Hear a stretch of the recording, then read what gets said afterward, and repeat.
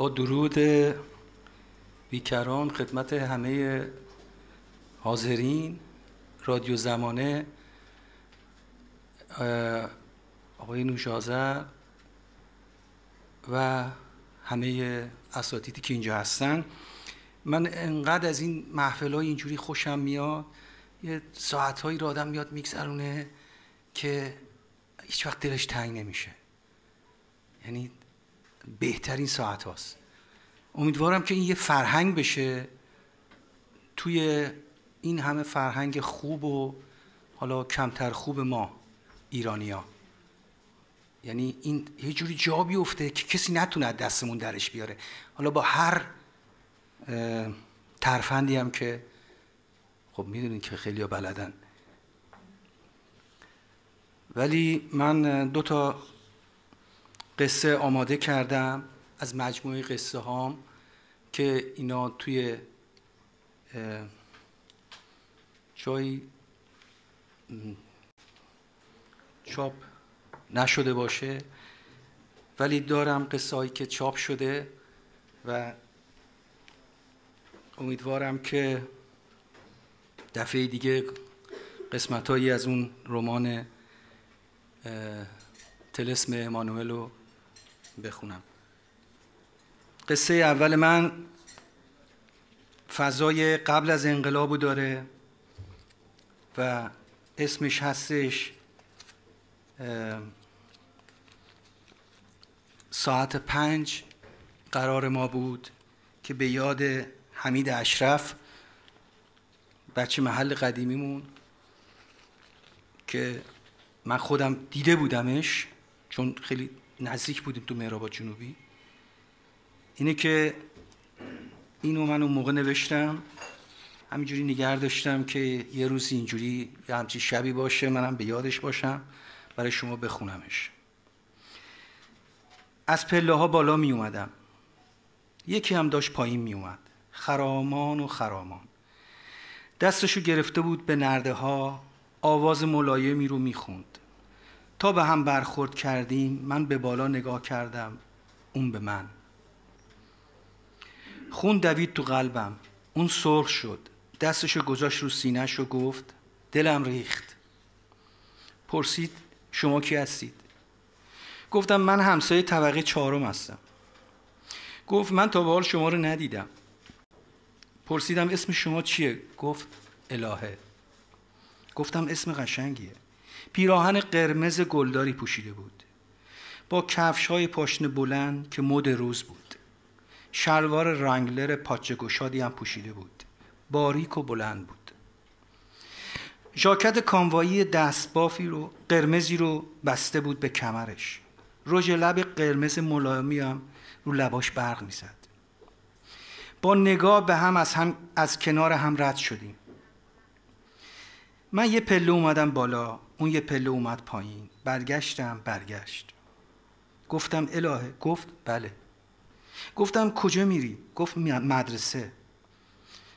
گفتم می‌تونم دوباره ببینمه پرسید کجا؟ گفتم سینما رادیو سیتی رو تو پهلوی بلدی؟ گفت ساعت چند؟ گفتم ساعت پنج. با, از با عجله از پله ها قلب منو با خودش برد. اومدم بالا. حمید کنار پنجره ایستاده بود. سیگار می‌کشید. پرسید با کی حرف می‌زدی؟ سرم انداختم سرم انداخته بودم پایین. داشتم تو جیبام دنبال چیزی میگشتم که نمی‌دونم چی بود. گفتم الهه دختر همسایه بالایی. گفت دختر سرهنگ ستایش؟ گفتم نمی‌دونم. حمید گفت دیگه نمیشه اینجا موند. سرمو بلند کردم نگاهم افتاد تو نگاه حمید که داشت به من نگاه می‌کرد. گفتم به این زودی؟ گفت وسایل تو جمع کن بریم. دو ساعت بعدش مهرآباد جنوبی بودیم.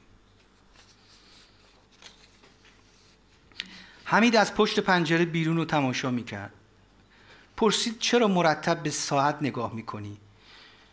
گفتم با الهه ساعت پنج جلوی سینما رادیو سیتی قرار گذاشتم. حمید دو قدم اومد جلوتر و نگاه کرد تو چشام و گفت قرار رو فراموش کن. دلم هر ریخت. ساعت پنج ساعت پنج عصر دختر مدرسه یا تعطیل شدن. کلاقا از شمال تهران دسته دسته به طرف جنوب را افتادن. قلبم شروع کرد به ثانیه ها رو شمردن کلاقا دقیقه ها رو سرم قارقار می زدن.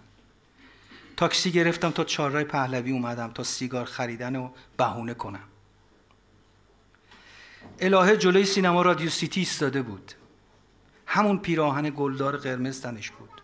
با کفشای پاشنه بلند قرمز دامن کوتاه قرمز پاهای جوونش لخت بودن. کیف کوتاه قرمزی هم تو دستش بود. سیگار خریدم و برگشتم. نفس نفس می‌زدم. عرق کرده بودم. چشام خیس خیس بود. همه صداهای گنگ و تا گنگ و نامفهوم بودن. همه صداها گنگ و نامفهوم بودن. خودم رو تو صدای بوغ ماشینا و هم همه جمعیت گم کردم تا الهه رو نبینم. سالها گذشت. حمید سال پنج کشته شد. من اومدم استانبول. یه روز میدون سلطان احمد منتظر قاچاقچی بودم. چشمم افتاد به الهه. با همون لباسا اونجا ایستاده بود. رفتم به طرفش. نگاهش افتاد به من. گفتم الهه تو هستی؟ خندید کمی پا پس کشید. قاچاقچی اومد. یه لحظه چشمم ب... چشممو برگردونم. الهه نبود. کارها ردیف شد. اومدم فرانسه. جشن اومانیته بود. با دوست دختر فرانسویم از جلوی مولن روش رد می شدم. الهه رو دیدم که سر, سر تا پا قرمز پوشیده بود. موهاش رو هم قرمز کرده بود و با یه روبان قرمز مرتب بسته بود. دویدم به طرفش. صداش کردم الهه الهه. با لبخند عاشقانه برگشت به طرف من. چشماشو چشماش خیس خیس بود. گفت می‌دونی چند سال منتظرتم پیرمرد؟ یه قصه دیگه هم هستش که اینم مثل همین کوتاست. به نام مسافر مسجد سلیمان. که می‌دونم اینجا مسجد سلیمانی زیاده که ما اون سالها رفته بودیم اونجا. به عنوان معلم. و من اونجا موندگار شدم. واقعا آدمای خیلی مهربون و خوب. من اینو تقدیم می‌کنم نه تنها به خانم قاسمی بلکه به همه مسجد سلیمانی اتوبوس سربالایی نفتک و بالا می‌رفت. هرچی اتوبوس بالاتر میومد تلیه خورشید زور می‌زد به جنازه شب نگاه کنه. همه مسافرها خوابالود بودند. راننده داشت نفس آخر رو می‌کشید. سیگاری آتش زد. ادهی وسط راهرو کنار صندلی ایستاده بودن بچه ها هنوز خواب بودن اون وسط تو دامن کوها و تپه ها شهر دراز به دراز افتاده بود. دکل های نفت و جرسقیل هایی که زمین رو رو هوا نگه داشته بودند با خانه های شرکتی و خیابان های نیمه آسفالت بولوارهای آرایش کرده با سپیدارهای خسته و عرق کرده. کنار هم صف کشیده بودند.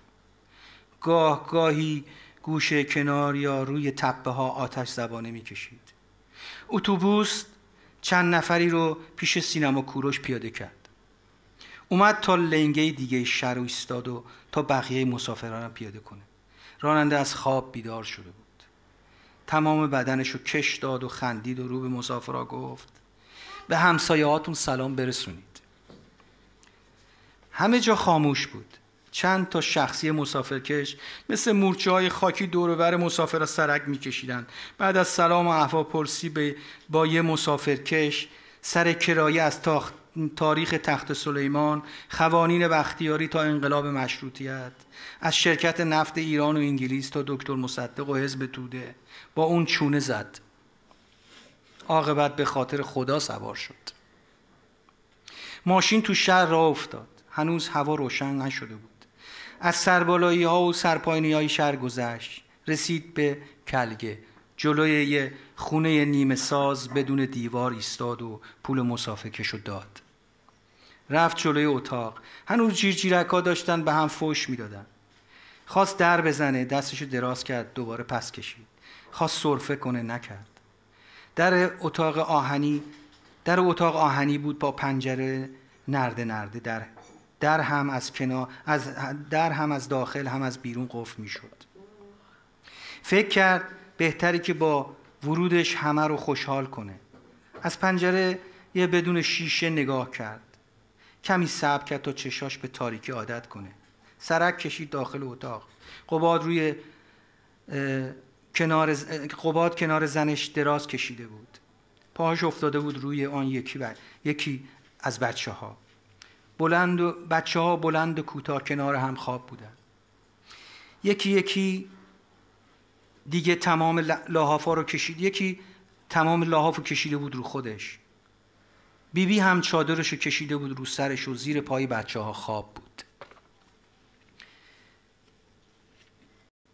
به یادت هست آن شب را که تنها؟ من اینو این شعر رو به خاطر امشب می‌خونم. به یادت هست آن شب را که تنها به بزمی ساده مهمان تو بودم. تو می‌گفتی که دل دریا کنه دوست من اما غرق چشمان تو بودم. مکش تنها بخون خواندی و خاموش تمناگر کنار من. نشستی چو ساحل ها گشودم بازوان را. تو چون امواج در ساحل نشستی. اینو تقدیم کردم به همه شما عزیزان. شب خوبی داشته باشید.